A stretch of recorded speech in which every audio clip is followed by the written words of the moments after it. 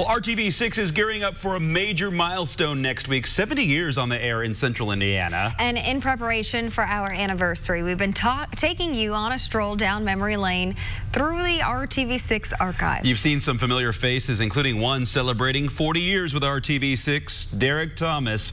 Check out this tough assignment he was given in 1982, leading up to the Indy 500. The lid's off, hats are in and on. Each of the souvenir tents like this one sell about 100 pieces of headgear a day during the month of May.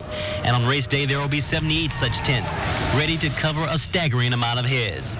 The chapeaus are diverse, from helmets to bonnets to baseball caps. But more than anything else, they strive to be functional. ABC technician John Smith selected the right hat for a big job. Why do you wear it? To keep my head from catching the sun. American ingenuity is not lost on the great head cover-up, and Scott Warren, a Speedway regular since attending his first race in 1946, has found a cheap solution to the head wrap problem. It's my T-shirt, and uh, my head, uh, my head is pretty bald, and uh, you know when I get too much sun, you know I just use my T-shirt for a cap. While some easily find their headpiece niche, some are a little confused. Others have a job to do and a hat to do it in. Another thing about this hat phenomenon is that it appears to be infectious. And in the words of Porky Pig, hats all, folks. Derek Thomas for the news.